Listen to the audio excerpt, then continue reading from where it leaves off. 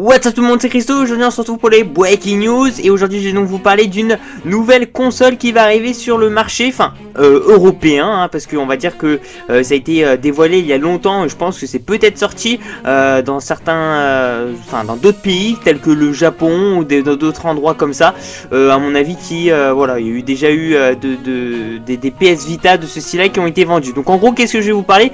Comme indique le titre, c'est une nouvelle PS Vita, soit la PS Vita 2000 ils ont rajouté 2000 en gros euh, je vais vous donner les caractéristiques c'est à dire euh, bah finalement est-ce qu'il va y avoir de grosses différences entre l'ancienne PS Vita avec la nouvelle PS Vita qui va arriver très prochainement? Je vous rappelle que la PS Vita 2000 a été dévoilée en octobre au Japon et que maintenant tout ça ça va sortir en France le 13 juin normalement. Donc euh, ça risque d'être assez intéressant sachant que la première PS Vita est sortie en 2011 et qui n'a pas fait un grand succès puisque les gens on va dire que c'est sorti on va dire au moment voilà où il y a eu aussi la PlayStation 3 et que forcément les gens se sont plus jetés dans une console euh, qui était à l'époque une next gen, une console bah, finalement euh, à l'époque super puissante, la PlayStation 3 et qui voilà les gens ils ont pas été super bien intéressés. C'est vrai que la console portable a été un peu délaissée, enfin en tout cas de chez Sony parce qu'ils ont fait 8 millions euh, d'exemplaires vendus, c'est-à-dire 8 millions de PS Vita ont été vendus alors que par exemple si on peut prendre un de, de ces grands concurrents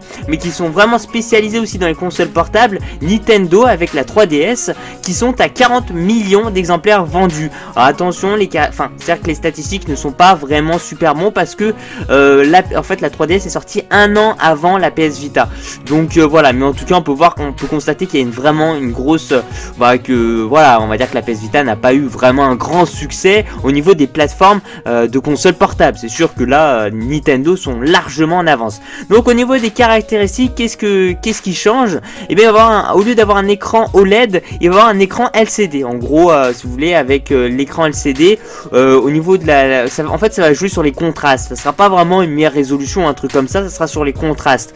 le poids, bah forcément, en fait, si vous voulez, un écran LCD va beaucoup moins consommer, donc la batterie sera beaucoup plus, enfin, vous allez pouvoir jouer beaucoup plus longtemps à votre PS Vita. donc avec, en tout cas, la PS Vita 2000, bah forcément, elle consomme beaucoup moins d'énergie. ce qu'il faut savoir aussi, c'est que l'épaisseur, eh ben, elle est beaucoup plus fine de 15%. Euh, c'est pas un grand grand changement, voilà en tout cas il y a quelque chose. Au niveau du poids, bon euh, de c'est la première PS Vita est à 260 euh, grammes, ouais c'est ça, et celle-ci donc la PS Vita 2000 est à 220 grammes. Donc ça joue pour 40 grammes honnêtement, il n'y a pas une réelle différence. Enfin, c'est vrai que bon, il y en a qui vont me dire, ouais, Christo, c'est quand même quelque chose. Mais bon, voilà, c'est vrai que c'est un peu spécial. Là, il n'y a pas la 3G par contre sur cette PS Vita. Euh, par contre, ce qui est pas mal, c'est qu'il y a un stockage interne, c'est-à-dire que euh, au lieu d'acheter, vous savez, ces cartes SD euh, qui coûtent un peu la peau du cul. Enfin, bon, maintenant ça va, mais à l'époque, ça coûtait la peau du cul.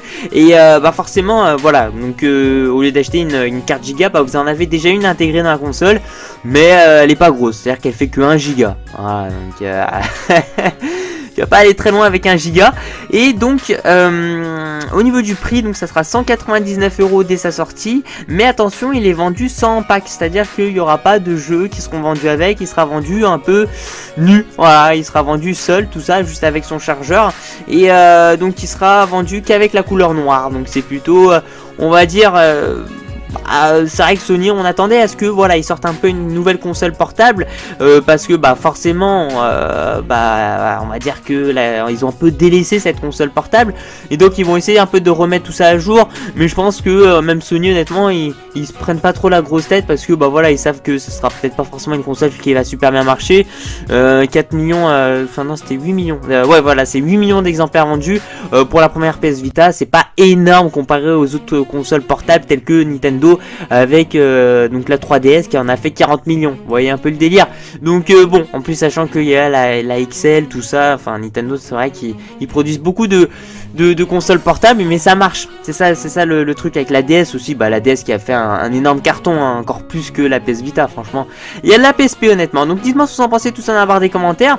Merci de mettre un petit j'aime à la vidéo, ça fait super plaisir. Surtout de me suivre sur ma page Facebook personnelle.